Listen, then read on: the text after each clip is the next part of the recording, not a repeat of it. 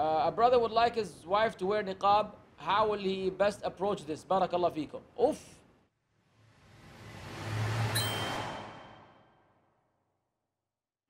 Well, by telling her uh, how he feels uh, and being nice and get reminding her of all the reward that Allah has written for that. It's an act of worship and it's more modest and it's better and whatever and all good and dandy. Alhamdulillah, if she listens, congratulations. She doesn't listen, then he's going to have to be a little bit more firm. Which is, hey, you better put on this niqab, girl, lest you want to go in separate ways. He has the right to force her to wear the niqab. And she has to obey her husband and wear the niqab.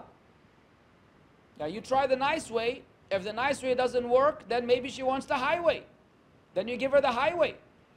But she has to comply with her husband and put on the niqab.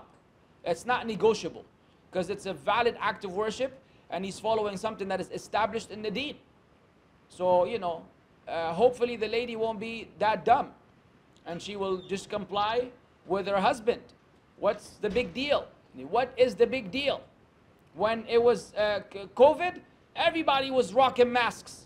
MashaAllah, the entire world, kuffar and believers were wearing, people wearing two, three masks on top of each other. You couldn't even see people's faces anymore. And, and, oh, everybody was managing somehow.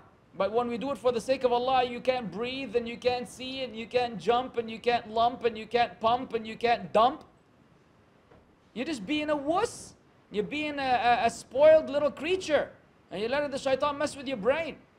Put on that niqab. Have a good all day, good all night, good all good night, and good all I'm leaving right now. السلام عليكم ورحمة الله وبركاته. إيش هذا؟ الله العظيم يا شيخ جننوني قسما بالله.